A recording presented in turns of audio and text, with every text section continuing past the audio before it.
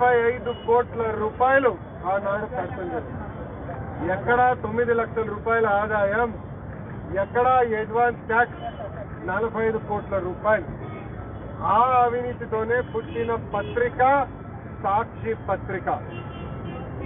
ఆనాడు నుంచి ఈనాడు వరకు వ్యక్తిగతంగా నా పైన కానివ్వండి తెలుగుదేశం పార్టీ పైన కానివ్వండి మా నాయకుడు చంద్రబాబు నాయుడు గారి పైన కానివ్వండి మా సీనియర్ నాయకుల పైన కానివ్వండి అంత అబద్ధాల వార్తలు రాష్ట్రం ప్రజలందరే చూస్తున్నారు.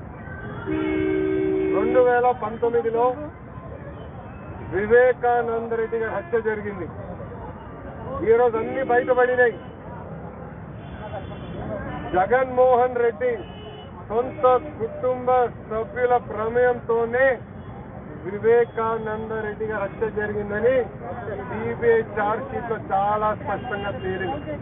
కానీ ఆనాడు ఈ దొంగ పత్రిక సాక్షి ఏం రాసింది నరకాసుడ కాదు నారాసుడా అని చంద్రబాబు నాయుడు గారి హాఫ్ ఫోటో అంటే కాలు నుంచి కింద వరకు ఫోటో ఆయన చేతిలో కత్తి పెట్టి ఏదో రాజారెడ్డి గారు ఈయనే చంపేశారన్నట్టు వివేకానంద రెడ్డి గారి హత్య కూడా చంద్రబాబు నాయుడు గారే చేపించారన్నట్టు ఆ రోజు దొంగ ఆర్టికల్ కూడా దొంగ పేపర్ సాక్షి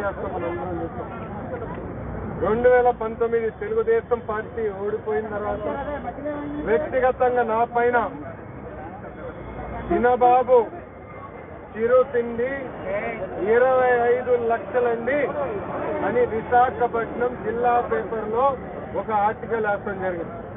ఆ ఆర్టికల్లో మనం చాలా స్పష్టంగా చూస్తే ఏదో నేను మా నాయకుడు చంద్రబాబు నాయుడు గారు తిండి మీద ధ్యాస ఉన్నట్టు మేమందరం విశాఖపట్నం ఎయిర్పోర్ట్లో టీలకి స్నాక్స్కి పాతిక లక్షల రూపాయలు ఖర్చు పెట్టామని తప్పుడు వార్త ఆనాడు వేశాం వాళ్ళని చూసి డెక్కన్ క్రానికల్ వేసింది. డెక్కన్ క్రానికల్ని చూసి ద వీక్ అని ఒక మ్యాగజైన్ కూడా వేసింది. నేను కనీసం ఆ రోజులు వాళ్ళ ఓచర్లు చూపించిన రోజుల్లో కేవలం ఒకే ఒక రోజు విశాఖపట్నంలో నేను ఆ ఆధారాలతో నేను వాళ్ళకి నోటీస్ జారీ చేస్తే ద వీక్ అన్న నేషనల్ మ్యాగజైన్ తప్పైపోయింది. క్షమాపణ కూడా కోరారు. వాళ్ళు ఏకంగా రిజైండర్ కూడా వాళ్ళ మ్యాగజైన్ పబ్లిష్ చేశారు. కానీ సాక్షి కానివ్వండి డెక్కన్ క్రానికల్ ఎక్కడ రిజాయిన్ పబ్లిష్ చేయలేదు. అందుకే ఈరోజు సాక్షి పైన డెబ్బై ఐదు కోట్ల రూపాయలు డిఫమేషన్ సూట్ నేను వేశాను. అదేవిధంగా డెక్కన్ క్రానికల్ పైన ఇరవై ఐదు కోట్ల రూపాయల డిఫమేషన్ సూట్ నేను వేస్తాం జరిగింది. ఇది రెండు వేల తొమ్మిది పంతొమ్మిదిలో నేను వేశాను. ఇప్పుడన్నా ఈరోజు హియరింగ్ వస్తా నిజంగానే నాకు చాలా ఆనందం ఉంది. ఎందుకంటే ప్రజలకి నిజం తెలియాల్సిన అవసరం చాలా చాలా ఉంది.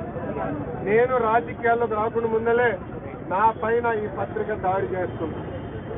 ఆనాడు నా చదువు కోసం ఎవరో డొనేషన్ ఇస్తే నాకు సీట్ వచ్చిందని దొంగడు తప్పుడు వార్త వేశారు అప్పుడు నా పైన ఇంకో వార్త కూడా వేశారు. అప్పటికి నాకు పెళ్ళయిందని ఇంకొక అబ్బాయి కూడా ఉన్నాడని వాళ్ళు దొంగ వార్త అంటే ఒక్క వ్యక్తిని అతని శీలాన్ని క్వశ్చన్ చేస్తారు. అంతేకాకుండా క్యారెక్టర్ని క్వశ్చన్ చేస్తారు. అంతేకాకుండా ఒక వ్యక్తి రాజకీయాలు ఎదుగుతుంటే అతను ఎదగకూడదు ఎట్టి పరిస్థితి కొట్టాలన్న ఆలోచనలో ఈ దొంగ పత్రిక మాపైన ఎవరైనా తప్పుడు వార్తలు వేస్తే తప్పనిసరిగా వాళ్ళ పైన నేను డిఫర్మేషన్ చూపేస్తా. రాజ్యాంగం నాకు ఇచ్చిన హక్కు. చాలా స్పష్టంగా ప్రెస్ కౌన్సిల్ ఆఫ్ ఇండియా గైడ్ లైన్స్లో గుడ్ ఫెయిత్తో ఆర్టికల్ చేయాలని చాలా స్పష్టంగా చెప్పారు. ఐపీసీ సెక్షన్లో గుడ్ ఫెయిత్ అని చూస్తే కనీసం ఎంక్వైరీ చేయాలి దాంట్లో వాస్తవాలు ఉన్నాయో లేదో తెలుసుకున్న తర్వాతనే వేయాలని చెప్పడం జరిగింది.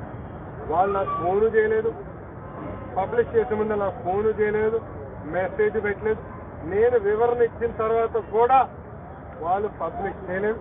అందుకే ఈరోజు సాక్ష్యమైన డిఫర్మేషన్ సూట్ నేను వేస్తాం జరిగింది. ఇది ఇక్కడితో ఆగదు. తప్పనిసరిగా నేను న్యాయ పోరాటం చేస్తా. నాకు జరిగిన అన్యాయం ఇంకా ఎవరు జరుగు జరగకూడదన్న లక్ష్యంతో ఈ రోజు ఈ దొంగ పత్రిక ఈ దొంగ యజమాన్యం పైన నేను ఈ పోరాటం చేస్తాను జరుగుతుంది అన్నా ఇండస్ట్రీ మీద కూడా దాడి జరుగుతున్నారు రేపు సినిమా నాయకు రిలీజ్. అక్కడ బెనిఫిట్ తర్వాత అయ్యా సార్ ఇప్పుడు మీ కోర్టులో ఈ రోజు ఏం జరిగింది అసలు? జరిగాయా? లేకపోతే మీకు వాయిదా ఇచ్చారా? అసలు ఏం జరిగింది? అదే మనం చూస్తే డిలే టాక్టిక్స్. లోకేష్ ఎటువో గెలుస్తాడు కనుక డిలే చేద్దామని వాళ్ళు ఒక డ్రామా ఆడారు. నేను క్రాస్ ఎగ్జామినేషన్కి ఈరోజు ఉంటుందని నేను వచ్చాను. కానీ జరగలేదు. కావాలని డిలే టాక్టిక్స్ వాళ్ళు ఎందుకంటే తప్పుడు వార్తలు వాళ్ళకి అర్థమైపోయింది. డిలే టాక్టిక్స్ జరిగింది. కానీ జడ్జి గారు ఎత్తిపట్టు ఇరవై ఎనిమిదికి కౌంటర్ వేయాలని వాళ్ళకి ఆదేశాలు జారీ చేస్తూ జరిగింది. అయ్యా మీరు అడిగిన దానికి ఆంధ్ర రాష్ట్రం ఎవరు చల్లగా హాయిగా ఉండకూడదు. ఆంధ్ర రాష్ట్రంలో ప్రజలు కానివ్వండి పరిశ్రమలు కానివ్వండి అందరు భయంతో బతకాలా? పరిశ్రమల పైన దాడి చేశారు. ప్రజల పైన దాడి చేశారు. డాక్టర్ సుధాకర్ నర్సీపట్నం ఎలాంటి పరిస్థితి తీసుకొచ్చారు చూసాం కదా. సుధాకర్ గారి పైన దాడి చేశారు.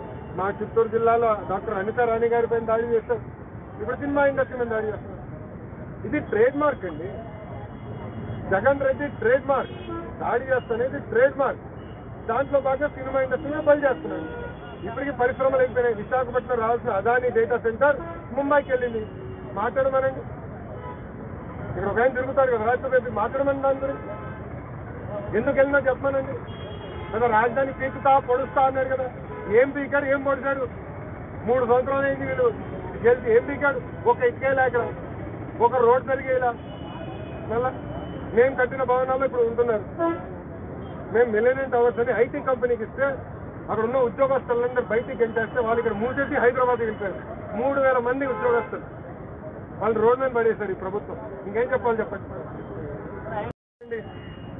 సుప్రీం కోర్టు ఇతర హైకోర్టు చాలా స్పష్టంగా చెప్పింది. పాజిటివ్ అని ఇచ్చిన తర్వాత అరెస్ట్ చేయలేమని. మన పోలీసులకు ఏం పని అక్కడ? ఏం చేస్తున్నారు అక్కడ పోలీసులు యుద్ధ వాతావరణం. యుద్ధం జరుగుతుంది. యూక్రెయిన్లో జరుగుతుంది యుద్ధం. నర్సీపట్నంలో కాదు. ప్రశాంతంగా ఉన్న నర్సీపట్నం. వీళ్ళు గెలిచిన దగ్గర నుంచి అడ్డగోలుగా అక్కడ ఉన్న కార్యకర్తల పైన ఏకంగా డాక్టర్ సుధాకరం కూడా చంపేశారండి వీళ్ళు. గుండె పోటు వచ్చే విధంగా ఆయన వెంటాడి వెంటాడి చంపేశారు ఈ ప్రభుత్వం. ఇంకేమన్నా వీళ్ళు నిజమైన టెర్రరిస్ట్ వీళ్ళు నిజమైన రౌడీలు.